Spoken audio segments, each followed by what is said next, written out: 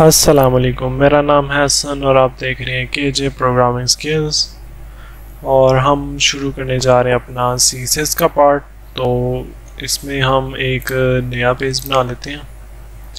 और आज हम सिर्फ़ उसके बारे में कुछ जनरल इंफॉर्मेशन लेंगे कि सी एस एस में होता क्या क्या है। तो पहले हम इस पेज को सेव कर लेते हैं। तो इसको हम दे देते हैं नाम।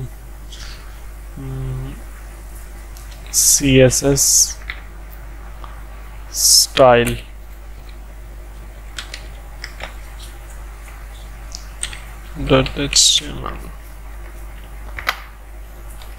ठीक है, ये हमारा पेज बन गया। इसके ऊपर हम पहले अपना एच लिख लेते हैं। तो सी एस एस में होता क्या क्या है? सी एस एस में आप कलरिंग कर सकते हैं, उसकी मॉडिफिकेशन कर सकते हैं। उसकी बेसिक जो डिज़ाइनिंग लेवल है, वो सारा सी एस एस के थ्रू होता है।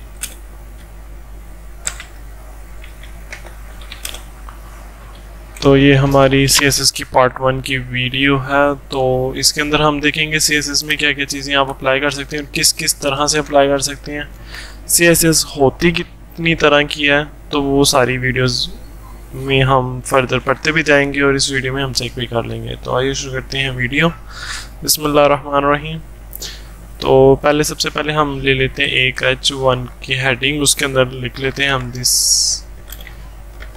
is my C S S part और नेक्स्ट लाइन पे हम एक पैराग्राफ ले लेते हैं तो उसमें हम कुछ और हम नंबर ले लेते हैं।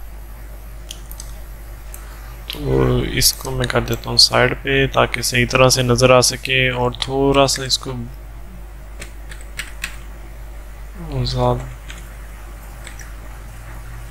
तो अब आपको क्लियरली नज़र आ रहा होगा, मैंने एक ले ली हेडिंग और एक मैंने ले लिया पैराग्राफ अब जो सी एस एस है, वो होती है हमारी तीन तरह की। एक होती है इनलाइन सी एस एस एक होती है इंटरनल सी एस एस और एक होती है एक्सटर्नल सी एस एस तो आज की वीडियो में हम ये तीनों पार्ट चेक करेंगे। तो ये एच वन है तो हम इसके अंदर करना चाह रहे हैं इनलाइन सी एस एस तो उसके लिए टैग होता है स्टाइल और स्टाइल के अंदर आप कलर दे सकते हैं इसको। और कलर में हम इसको दे देते हैं एक्वा पहले तो हम इसकी बेसिक आउटपुट चेक कर लेते हैं, उसके बाद हम इसको कलर वगैरह में भी चेक कर लेंगे। Go live.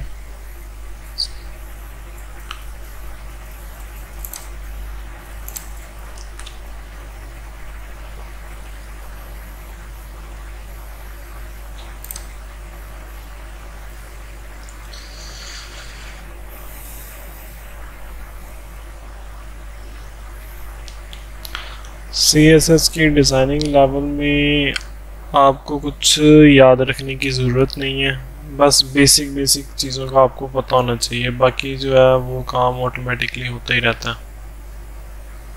तो आई थिंक हमने चीज़ें सेव नहीं की थी, जो हमें रिज़ल्ट डिस्प्ले नहीं हुआ।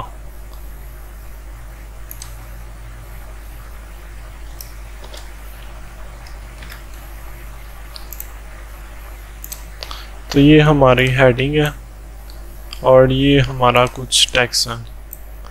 तो हेडिंग को हम डिफरेंट कलर देंगे और टेक्स्ट को डिफरेंट तो पहले कर लेते हैं हम इनलाइन सी एस एस तो उसमें हम कलर दे देते हैं। तो इसमें एक्वा कलर हमने दे दिया अपनी हेडिंग को और पैराग्राफ को जो है ना वो हम कलर दे देते हैं। पर्पल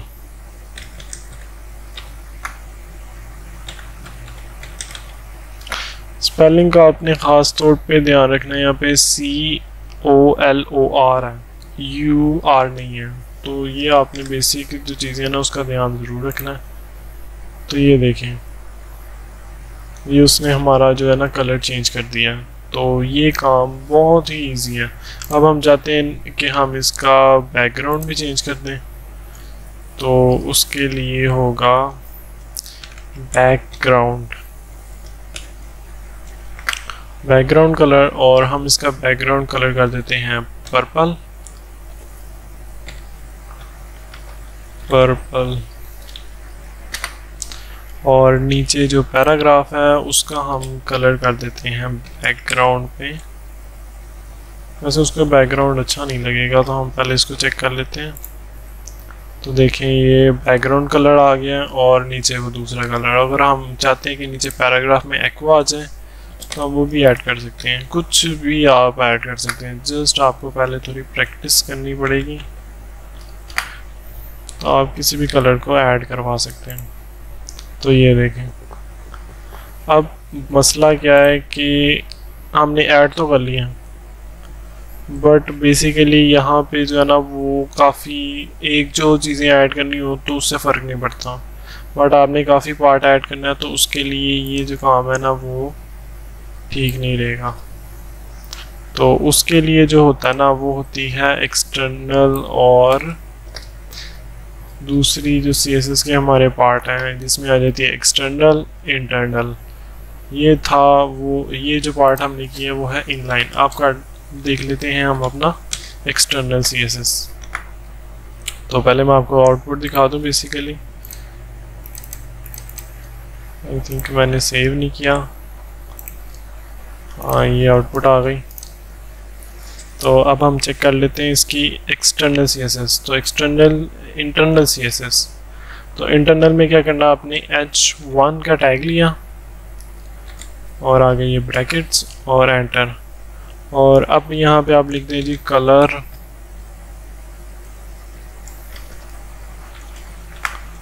और कलर में आप लगा दें जी इस बार ब्लू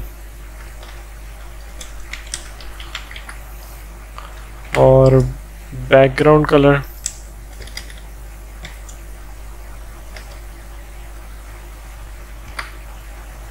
background colour blue के साथ जो मैच करेगा,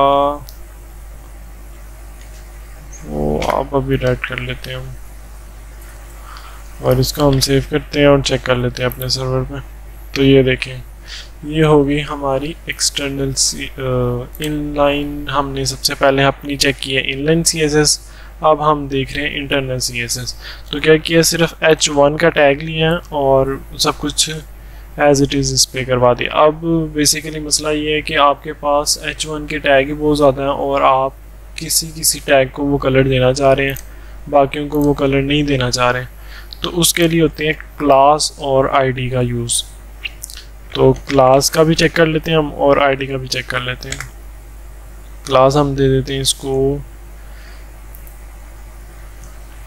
सी वन और इसको हम दे देते हैं आईडी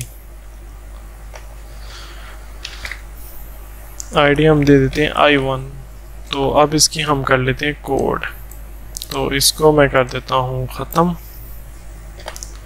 तो यहाँ पे हमने जो क्लास के लिए यूज़ होता है, वो होता है डॉट और जो हमारी आईडी के लिए यूज़ होता है, उसके लिए होता है हैश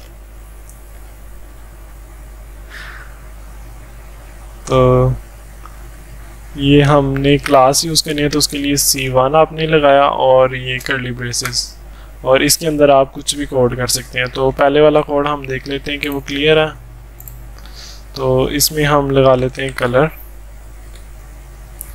और कलर हम देते हैं इस बार इसको डार्क ग्रीन और उसके बाद आपने नेक्स्ट कॉलम पे जाना है तो और आपने हैश लगाना है, और हैश के साथ आपने देना है जो आपने अपनी आईडी दी है आई वन दी है तो कली ब्रेसिस और एंटर और इसको हम दे देते हैं कलर और इसका कलर हम रख देते हैं। ये सा कलर रख देते हैं। तो इसको कर लेते हैं सेव और चेक कर लेते हैं। तो ये देखिए आईडी और क्लास अब आईडी और क्लास में डिफरेंस क्या है? डिफरेंस बिटवीन आईडी और क्लास में सिर्फ़ इतना सा डिफरेंस है कि आपकी जो आईडी है, वो आप सिर्फ़ उस एक ही पार्ट यूज़ कर सकते हैं। आप उसको डिफरेंटली रिपीट करेंगे तो उसका कोई फ़ायदा नहीं है, क्योंकि क्लास बेसिकली बनाई रिपीटिंग के लिए तो क्लास जो है आप डिफरेंट को दे सकते हैं मतलब एक क्लास बहुत ज़्यादा चीज़ों को भी दे सकते हैं। अब यहाँ पे आईडी है तो मैं यहाँ पे दे देता हूँ क्लास और क्लास में मैं सी वन दे देता हूँ। तो जो मैंने सी वन का कोड किया है, वो ही यहाँ पे भी डिस्प्ले हो जाएगा। देखा? तो बेसिकली क्लास का बेसिक यूज़ इसलिए होता है कि क्लास आप मल्टीपल टाइम यूज़ कर सकते हैं और आईडी जो है वो एक ही टाइम पे, जैसे आपका नेशनल आईडी कार्ड नंबर होता है, वो एक यूनिक होता है तो आईडी जो है वो यूनिक है तो क्लास आप बाकी सब के लिए भी यूज़ कर सकते हैं। तो ये था हमारा इंटरनल सी एस एस और अब देख लेते हैं हम अपना एक्सटर्नल सी एस एस तो एक्सटर्नल सी एस एस के लिए होता है लिंक और सी एस एस तो ये हमारी शीट बन गई, और उसके बाद ये स्टाइल का बन गया।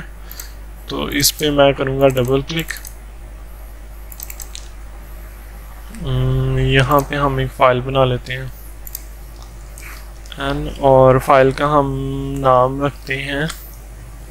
कंट्रोल सेव और इसका नाम हम रख लेते हैं अपनी program dot C S S program dot C S S के से हमने नाम रख लिया और जहाँ पे हमने एच आर एफ़ रेफरेंस है, वहाँ पे हमने लिख लेना है प्रोग्राम तो ये प्रोग्राम हो गया। अब आपने अब हम एक डिफरेंट हेडिंग यूज़ कर लेते हैं। उसके लिए हम लगा लेते हैं एच टू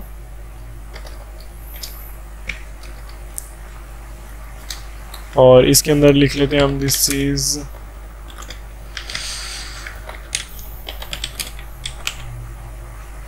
सेकंड हेडिंग तो इसको हम सेव कर लेते हैं और इसको, उसके बाद हम नीचे एक पैराग्राफ दे देते हैं। और उसमें भी लॉन्ग नंबर दे देते हैं हम। तो ये हमने दे दिया। अब हम इसको जाके वहाँ पे चेक करते हैं। पहले तो हम इसको सेव करके देख लेते हैं, इसका कलर क्या आ रहा है। तो इसका कलर जो है वो ब्लैक आ रहा है। तो अब इसमें हम जाते हैं सी एस एस पार्ट में और वहाँ पे हम जाके अपना जो एट्रीब्यूट सिलेक्टर है उसको कॉल करते हैं। तो ये एस टू को मैंने कॉल की जो कि हमने अभी बनाया। तो एस टू में मैं उसको कलर दे उसको बैकग्राउंड कलर देता हूँ सिर्फ़। बैकग्राउंड कलर हम उसको दे रहे हैं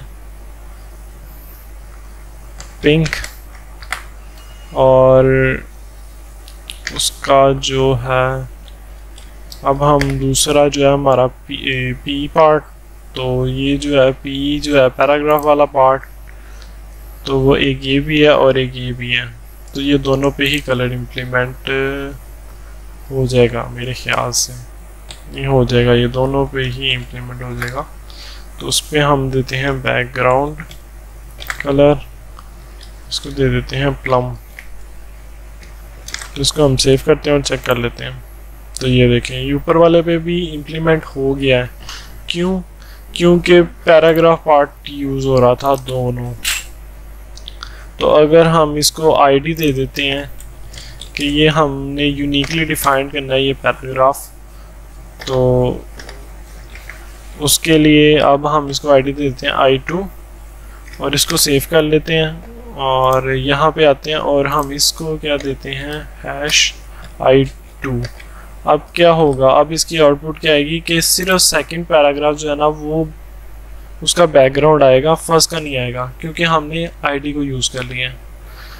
तो ये हमारा जो बेसिक सीएसएस का स्टार्टिंग पॉइंट था, जिसमें हम इनलाइन इंटरनल और एक्सटर्नल सीएसएस को हमने अंडरस्टैंड किया किस तरह वो डिफाइंड होते हैं।